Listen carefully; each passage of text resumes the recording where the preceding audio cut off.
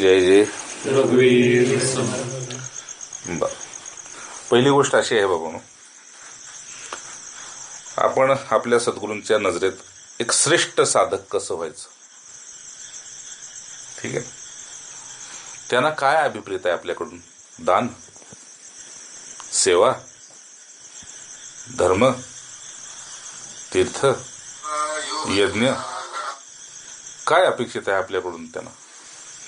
तर पहिलं काय अपेक्षित असेल तर आपलं आपल्या शरीरावरचं प्रेम कमी करत जा. ठीक आहे? त्यासाठीच मग हे चातुर्मास किंवा तपस्या किंवा साधनेतलं कटाक्ष अनुष्ठानं हे त्यासाठी घातलेलं आहे. पहिलं काय असेल तर आपल्या शरीरावरचं प्रेम कमी झालं पाहिजे. आणि जर गृहस्थ धर्मातलं असेल तर भविष्यात आपली जी संतान आहे त्यांच्या निमित्तानं आसक्ती वाढत जाते. म्हणजेच त्यांचीच आसक्ती असते. ठीक आहे ना? ती आसक्ती कमी होत गेली पाहिजे. का? तर प्रत्येक जण आपलं आपलं प्रारब्ध घेऊन आलेलं आहे. आणि प्रत्येक जण पुरुषार्थ करेल. तर तो त्याच्या गंतव्यस्थानावर जाईल. बरोबर? म्हणून पहिली गोष्ट काय आहे तर मनाची जी आसक्ती आहे त्यांच्याबद्दलची कुटुंबाबद्दलची त्यानं ममता वाढते आणि ममता वाढली की आपलं दुःख वाढतं. म्हणून ते कमी झालं पाहिजे. बरं का? थोडस दार ढकल. आणि हे इतकं सहज आणि सरळपणे काय कमी होत नाही हे आपल्याला कळलं पाहिजे. म्हणून समर्थ म्हणतात मना सज्जना सज्जनी वस्ती की जे म्हणजे काय करायचं तर खरोखर ज्यांचं भगवंतावर प्रेम आहे तशा लोकांच्या संगतीचा प्रयत्न करायचा. त्या संगतीमध्ये लवकर विसर पडतो. जास्ती शिकायला मिळतं. आणि त्यांचं प्रेम बघून आपल्याला आपोआप प्रेम होतं. मी चातुर्मासाबद्दल सांगतोय. श्रेष्ठ साधक गुरूंच्या नजरेत कसा असतो कसा असावा? ठीक आहे ना? अगदी साध्या सरळ भाषेत सांगतोय. आणि ज्यावेळेस आपलं प्रेम वाढतं महाराज ऐकतंय का? ज्यावेळेस आपलं प्रेम वाढतं तर प्रेम वाढलं की मैत्री वाढू लागते. मैत्र हा करुण्याऐवजी जर मैत्री वाढू लागली का नाही की दुसऱ्यांच्या बद्दल दयाभाव वाढतो. जे आपल्या आता आश्रमातली जी सेवाभाव चाललाय का नाही त्याचं निमित्तच आहे की दयाभाव. परोपकार नाही दयाभाव. आणि या निमित्तानं ज्यांच्यात आपण राहतो त्यांच्याकडून विनय शिकायला मिळतो. खरोखर साधक. मर्यादेशील असला तर विनयी असतो. ठीक आहे मग अशी तुम्हाला उदाहरण सांगितलं की नाही मी? मी दुसऱ्याला सांगतोय त्याला पैसे द्या. आणि त्याला आधी विचारतोय तुला पैसे तुझ्याकडे आहेत का? देऊ का? तर त्याचं काम काय होतं? की नाही का मला पैसे दिलेले आहेत आणि लागले तर मी पुन्हा सांगेन तुम्हाला. संपला विषय. हे का सांगतोय? तर भगवंतानं भगवंताचं म्हणणं असं की श्रेष्ठ गुरुचा श्रेष्ठ साधक व्हायचं असेल तर पहिल्यांदा निष्कपट पाहिजे. ओठात एक आणि पोटात एक. असा साधक कधीही आपला स्थिर भाव ठेवू शकत नाही. कधीच नाही ठेवू शकत. म्हणून संतांचं मत असं की चतुराई चोले पडे. ठीक आहे? व्यवहारातली चतुराई तुझी परमार्थात काही कामाला येत नाही ते तिथंच चुलीत घाल. म्हणजे त्याला आग लावते ते काही कामाचं नाही पुढे. निष्कपट भाव जर असेल तर पुढच्याकडून शिकायला सोपं जातं. नाहीतर पुढचा दहा गुणा चतुर असतो. त्यानं पुढच्याचा स्वभाव ओळखला की गिरायक तसं माल. असं होतं मग. ठीक आहे? जसं गिरायक तसाच माल असतो. पुढं. खरोखर आपल्याला श्रेष्ठ पुरुषांचं प्रिय व्हायचं आहे का? जसं माझ्या बाबतीत मी सांगायचं तर बाबांच्या पशी राहिलो बेलसरे बाबांच्या सानिध्यात जेवढा काय आठ दहा दिवसाचा काळ. दहा बारा दिवसाचा काळ. राम सुखदाजी महाराज घ्या. किंवा भगवान आदिशंकराचार्यांच्या सानिध्यात राहिलो ग्रंथरूपानं. नाही काही काळ दोन तीन वर्ष वशिष्ठांच्या सानिध्यात तुम्हाला दिलेलं योग वशिष्ठ दुसऱ्या पुन्हा ग्रंथाला कुठं हात लावला नाही? तेवढंच एक बस. पुन्हा भागवताच्या का सानिध्यात राहिलो. तेवढंच. शिकायला काय मिळालं? की शुद्धी कशी ठेवावी? आतली शुद्धी आणि बाहेरची शुद्धी. हे त्या पुरुषांच्या संगतीमध्ये राहिल्यानंच कळतं. जसं शास्त्र म्हणतं बाहेरची शुद्धी मातीनं किंवा जलानं होते. नाही का? मी अनुग्रह घ्यायला गेलो त्यावेळी पहाटेची माती अंगाला आणि डोक्याला लावून आंघोळ करत होते साधक. तर ते मला पहिल्यांदा बघताना थोडंसं आजही वाटलं. पण जेव्हा गुरूंच्या मुखातून ऐकलं त्यावेळेस कळलं की नाही ह्यानं सुद्धा शुद्धी होते. जुनी माणसं शौचासनं आली की मातीला हात चोळायचे मातीनं शुद्धी होते. जलानं शुद्धी होते. पण ही बाहेरची शारीरिक पवित्रता.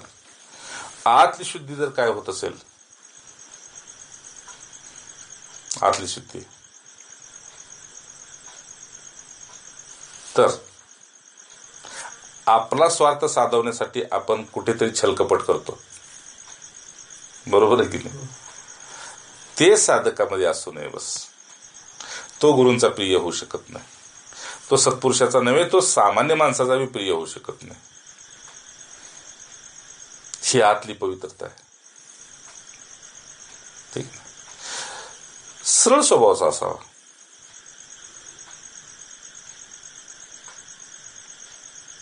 मग काय होतं? सरळ स्वभावचा असेल छल कपट करणार नसेल. तर जो आपला स्वधर्म आहे का नाही? स्वधर्म. त्याचं आपोआप गुरु आपल्याकडून अनुष्ठान करून घेतात. स्वधर्म निधनम शे. त्या स्वधर्माचं अनुष्ठान आपल्याकडून घेतात. बाहेरची अनुष्ठाने करणारे कितीतरी आहेत पण छलकपट सोडत नाहीत. आहेत की नाही बघा? आश्रमातनी किती किती अनुष्ठानं करणारी आहेत ती. पण व्यवसायात आली की पुन्हा ते छलकपट केल्याशिवाय म्हटले नाही व्यवसायात तेवढं करावंच लागतं. आतला धर्म स्वधर्म सांभाळता आला पाहिजे त्याचं अनुष्ठान केलं पाहिजे. हे श्रेष्ठांच्या कृपेनं होतं. त्यानं काय होतं? बरं का? हे आतलं अनुष्ठान केल्यानं काय होतं? तर सहनशक्ती वाढते. म्हणून देवाला बी सांगावं लागलं अर्जुना तितिक्षस्व भारता. किंवा थोडंसं सहन करायला शिक. कारण तुला ज्या टोकाला गाठायचंय तिथं चंचलता बी कामाची नाही कपट बी कामाचं नाही आणि उतावळे पण बी कामाचं नाही. म्हणून थोडं सहन करायला शिक. सहनशीलता वाढली की आपोआप आपलं लक्ष प्राप्त करून घेण्यासाठी वृत्ती अंतर्मुख होते. महाराज ऐकताय ना? वृत्ती मौन धरावं लागत नाही. लोक महिना महिना चार चार महिने मौन धरतात. आम्ही सुरुवातीला मौन धरलं पण परंतु चूक लक्षात आल्यानंतर अंतर्मुखता त्या संघातनं वाढत गेली आणि चातुर्मास सुरू व्हायच्या अगोदरच विसर पडायला लागला देहाचा. वृत्ती एकदा अंतर्मुख झाली की स्वाध्यायाची गोडी वाढते. ठीक आहे ना? महाराज गोडी स्वाध्यायाची वाढते आणि आपण स्वाध्यायात गुंतलेलं बघून दुसरा मनुष्य आपोआप आपल्याला फक्त नमस्कार घालून प्रस्थान करतो. नको बाबा यांचा अभ्यास चाललेला आहे.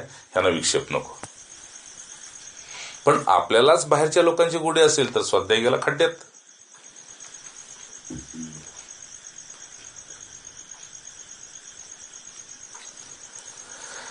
आणि ज्याच्या जीवनामध्ये स्वाध्याय आहे एक तेवढाच तुम्हाला सरळ मनाचा दिसेल बाकी नाही.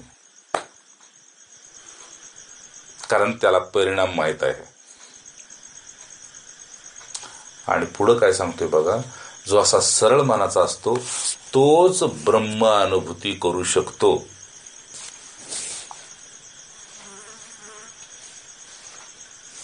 मिस्त्री बरं का? लय पाणी पिलं तर जावं लागेल पण झपकी मारू नको थोडा वेळ बरं का जो सरळ मनाचा असतो त्यालाच ब्रह्मानुभव येतो बाकीच्याला नाही तो तर्क करेल काय काय सांगेल काय काय सांगेल काय बी सांगेल आणि मग जो ब्रह्मा अनुभव करतो त्याला अहिंसा हे वरदान मिळतं अहिंसेचं वरदानच मिळतं तो किड्याला सुद्धा मारणार नाही उचलून टाकेल मुंगीला सुद्धा मारणार नाही उडी मारेल हे कशासाठी? हे आपले अनुभूती आपल्याला आनंद देण्यासाठी. आणि तोच मग पुरुष शीतोष्ण स-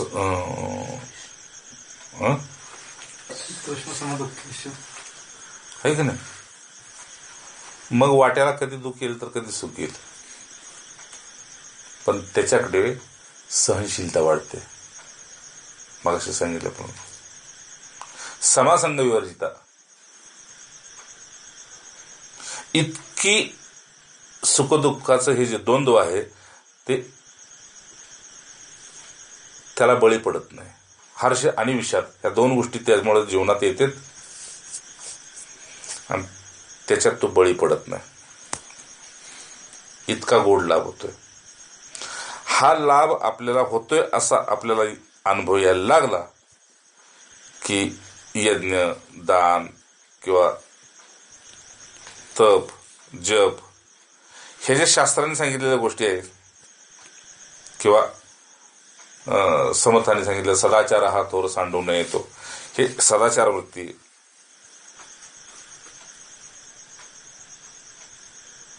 चे आपोआप आपल्याकडून केले जातील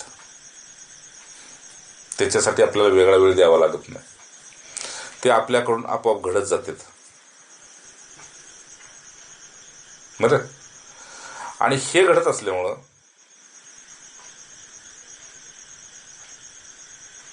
ज्यावेळेस व्यवहारी जगतामध्ये आपला संबंध येतो कुठल्या देशात जाऊ शकतो किंवा कुठल्याही आपण भूत भविष्य वर्तमान कुठल्याही काळामध्ये आपण जर चिंतन करू लागलो तर आत्मोत्पश्यत सर्व भूतीशी अशी एक वृत्ती होते बघायची आपल्याला. म्हणजे? जो जगन्नियंत आहे ज्याला आपण ईश्वर म्हणतो त्याचं दर्शन आपल्याला सर्वात होऊ लागतं. आणि मग एकांत सेवनाची गोडी वाढू लागते. शंकराचार्यांचं मत असं आहे. एकांत सेवनच प्रिय होतं. आणि जिथं एकांत सेवन करतो तेच माझं घर आहे असा एक दृढ अनुभव होत राहतो. का? तर जसं आता प्रयाग महाराज म्हणाले समजा की काय आपल्याला थोडंसं इथं चार सहा महिने काढायचे आहेत? अरे पण तुला उद्याचं माहीत नाही. मग आज जिथं राहतो तेच तुझं घर करणं. चार सहा महिने राहतो क्षणाचा भरोसा नाही. मग चार सहा महिन्याचा संकल्प धरून का बरं बांधून घेतो? पण जिथं राहिलास तेच तुझं घर आहे. कारण क्षणापुरता देह मिळालाय तरी तो माझा म्हणतोय. आहे की नाही? जसं परवा सांगितलं की नाही आयुष्य किती? तर सूर्य उगवल्यापासून मावळतीपर्यंत. आणि नानकानं विचारलं आयुष्य किती? तर म्हटले एक श्वास येतोय आणि दुसरा श्वास जातोय. आयुष्य एवढंच आहे. एका श्वासाचं आयुष्य त्यांनी तर सांगितलं म्हणजे घेतला श्वास टाकता येणार नाही आणि टाकला श्वास घेता येणार नाही. आयुष्य तर एवढंच आहे. पण स्वतःला तुम्ही बांधून किती घेतलंय?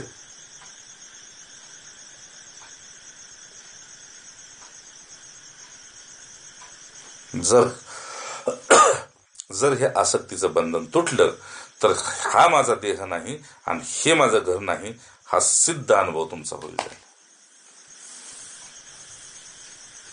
अनुभव तुमच्या सिद्धीला येईल. अनुभव सिद्धीला येऊन गेला की तुम्ही ग्रस्त धर्मात आहात की संन्यस्त आहात? त्याला काडीचं मूल्य नाही. कारण ग्रस्त धर्मात सुद्धा वस्त्र घालावं लागतं आणि संन्यासी होऊन सुद्धा वस्त्रच घालावं लागतं. फक्त रंग बदलतो. रंग बदलला म्हणून कधी वृत्ती बदलत नाही. का बदलते? नाही बदलत. पण जर आतला त्याग तुमचा आतच मुरला असेल आणि त्या त्यागाचा अहंकार जर झाला नसेल होत नसेल तर मग अंगावर फाटकी कपडे आहेत का इस्त्रीचे आहेत? त्याला मूल्यच राहत नाही. आतला त्याग आतच मोरला पाहिजे. आणि मग त्याला पुढे कळू लागतं की मिथ्या देह आहे तर प्रारब्ध बी मिथ्या आहे पण व्यवहारी जगतामध्ये त्याला सत्य धरत असल्यामुळं प्रारब्धाच्या अनुसार जे तुम्हाला ज्यावेळेस जिथं मिळेल त्याच्यामध्ये तुम्ही संतोष करू लागता. आणि संतुष्ट राहिल्यामुळं भगवंताशी प्रेम जोडलं जातं. किंवा भगवंतच आपल्याला प्रेम करतो. मागाशी एक वचन ऐकलं होतं शिवजींचं. जसं म्हटले पार्वतीचं माझ्यावर प्रेम आहे तसं माझंही तिच्यावर आहे. मग ती जशी साधन तपस्या करते तसं मला बी तिला प्राप्त करायचं आता साधन तपस्या केली पाहिजे. खरी गोष्ट आहे. ठीक आहे. हा सर्व अभ्यास आपला वाचणारही झाला पाहिजे की मला काहीतरी यातून मिळवायचे.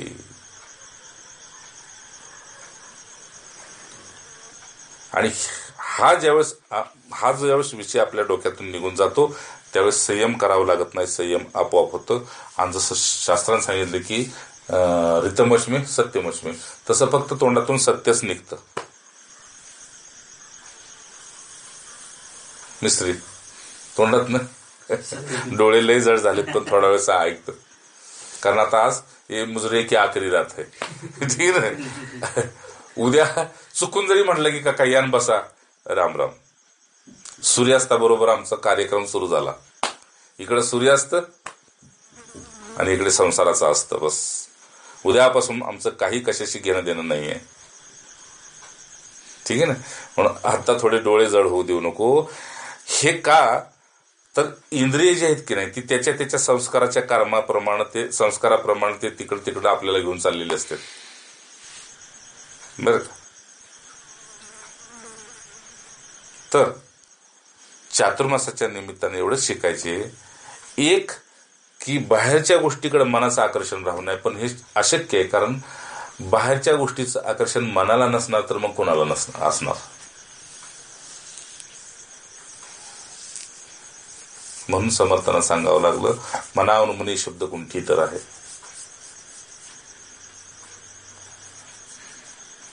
विषय कशाचा आहे?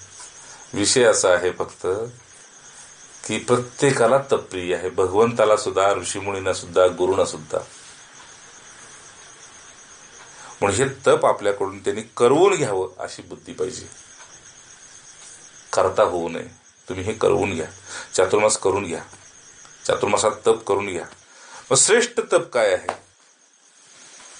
की कमीत कमी मनाच्या संगतीत राहणे.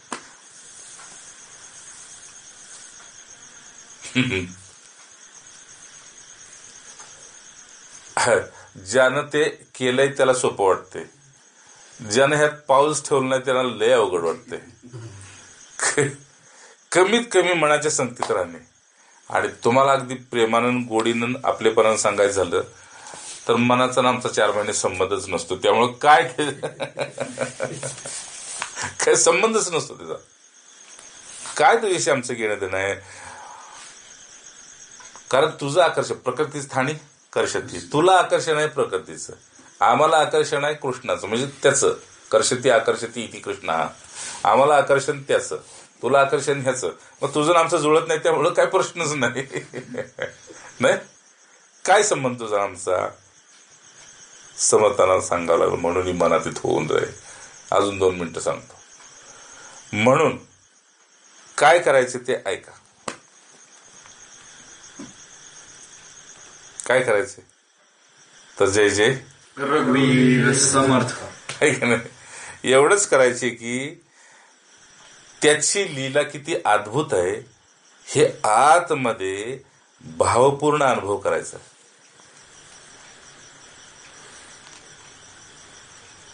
जन्माला घातल्यापासून ते अंतिम काळी नेईपर्यंत आपल्याबद्दलच त्याची लीला पहा तुम्ही. आणि त्यात जर आपल्याला साधनेची तपशीची गोडी असेल तर हजारो अनुभव आपल्याला आपले दिलेले असतात ते अनुभवून आपण जर त्यांना हजारो वेळा मनातली मनात धन्यवाद नमस्कार करत गेलो तर भाग्याचे आपण.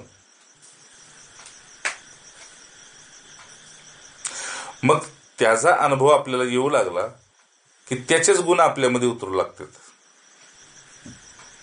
आणि मग ऐकण्याची गोडी जपाची गोडी ध्यानाची गोडी हे आपोआप वाढत जाते. जे आपोआप होते तिथलं आकर्षण आपलं खतम होतं. ठीक आहे ना? जे आपोआप होते की नाही तिथलं आकर्षण खतम होत. आणि एकदा आकर्षण संपलं की शांती येते. शांती तिचा भोग घेणं सोडून दिलं की समाधान येतं. समाधान आलं की आपण सर्वस्व त्याच्यावर सोडून देतो. किती सोपा सरळ मार्ग आहे बघा. ऐकाय पुरता सोपा आहे. काय? त्याच्यावरच सोडून देतो. म्हणून जेवढे महापुरुष झालेत जेवढे आतापर्यंत किंवा पुढे कुणी होणार आहेत त्यांनी साक्षात्काराचा एकच पहिला मार्ग धरला भक्ती.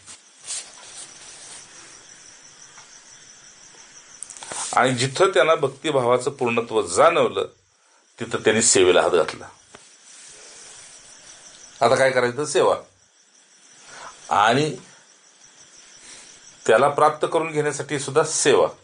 आणि प्राप्त झाल्यानंतर सुद्धा सेवाच. मला ऐकताय ना? हा म्हणून पुन्हा चातुर्मासात तुम्ही असं म्हणू नका की आता काय आपण तपस्या करायची आता गाईकडे जायचं. ठीक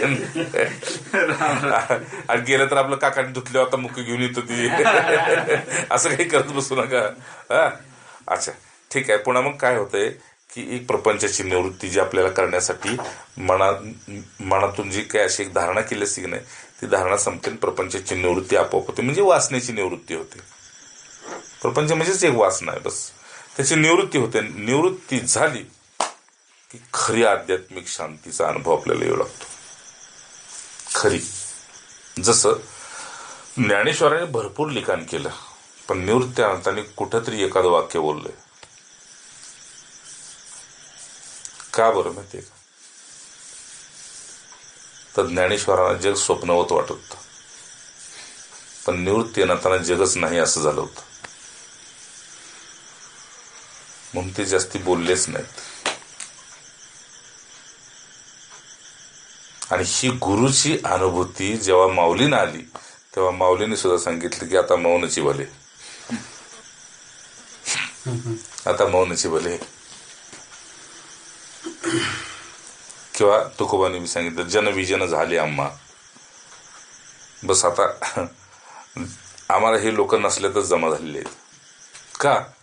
तर म्हटले हे जन्माला आल्यापासून दिसल त्याच्यामध्ये स्वतःला गुंतवून घेतात म्हणजे एक मृत्यूतून मृत्यूकडे चाललेले आहेत.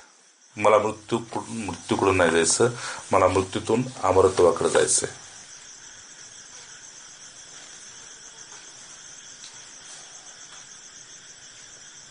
तर एक अनुभव तुळशीदासांचा सांगतो की म्हटले हे सगळं केल्यानंतर मला रामरायाने विचारलं की तुझा अनुभव काय? जेवढं काय मी साधन माझ्या जीवनात केलं ते साधन केल्यानंतर मला एकदा भगवंत प्रसन्न झाले आणि प्रसन्न झाल्यानंतर कुठं शरीर कडेला? तेव्हाच मला भगवंताने विचारलं की तुला एवढ्या साधन तपस्येचा अनुभव काय आला? तेवढा मला सांग.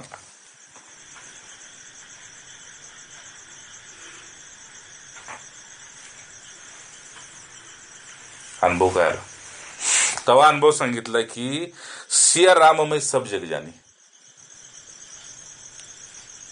स्त्रीच्या रूपात माता म्हणजे सीता आणि पुरुषाच्या रूपात मला राम दिसू लागला. मग तू काय केलं? तर म्हटलं एक नमस्काराशिवाय माझ्याकडे आहेच काय? म्हणून मी दिसेल त्याला पुन्हा एक नमस्कार करत राहिलो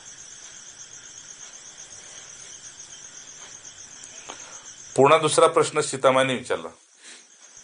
जर तुला राममयाने हे सियामय सगळं जग दिसू लागलं तर माझा प्रश्न असा की आता तुला या जगामध्ये मैत्री करायसारखं वैर करायसारखं काय आहे? मैत्री आणि वैर करायसारखं कोण आहे? तेव्हा त्याने सांगितले की म्हटले माई त्यांच्याच भाषेत सांगतो. की म्हटले माई माझा जो देव आहे तो माझ्यात बी आहे आणि जगात बी आहे. मग मी जगाशी वैर केलं तर मी माझ्याशी वैर केलं. आणि मी माझ्याशी वैर केलं तर मी जगाशी वैर केलं. म्हणजे वचन असं आहे की निज प्रभुमय देखही जगत केही संघ करू अं, केही करही विरोध. मला आता वैर करायला जागा तू दे आणि मग मी वैर करतो म्हटलं. का? तर माझ्यात बिराम आहे आणि मला आता जगात बिराम दिसतोय. म्हणून जगाची सुद्धा आता भावना अशी झालेली आहे की तुलसीला राम प्राप्त झालेला आहे. रामदर्शन झालेलं आहे. आणि माझी भावना अशी झाली आहे की सिया राममय सब जग मग आता माई तू सांग केही सण करू विरोध. सांगायचा असे एवढाच. शेवटी संपवत होता की आपण सुद्धा चार महिने चातुर्मासामध्ये आपल्या संघ कोणी विरोध केला तर ठीक आहे पण आपला विरोध कोणासंघ असू नये आतून आणि बाहेरून.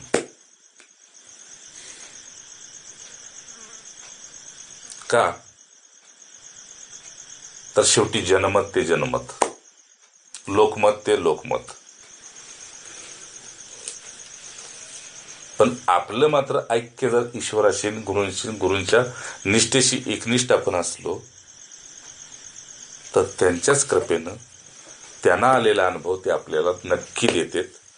हेच आपल्यासाठी शिवस्वरूप आहे. इति शिवम. जय जय. रघुवीर. समर्थ राम राम राम राम.